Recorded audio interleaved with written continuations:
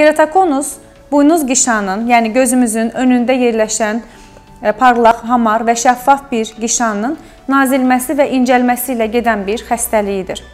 Bu adətən 20 və 40 yaş arası dövrlərdə özünü büruzə verir və proqressivləşmə ilə davam edir.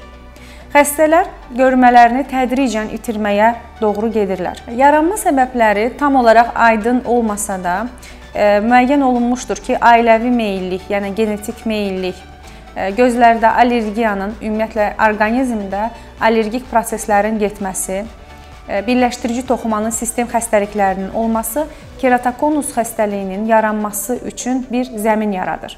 Əlamətləri işığa qarşı həssaslıq, qıcıqlanma, gözlərdə sulanma, qızartı, ağrı, e, yaxın görmənin və uzaq görmənin pozulması ilə özünü büruzə verir. Keratokonus xəstəliyinin müalicəsində əsas məqsədimiz xəstəliyin proqressivləşməsinin qarşısını almaqdır və görmə itiliyini, keyfiyyətli görməni bərpa etməkdir.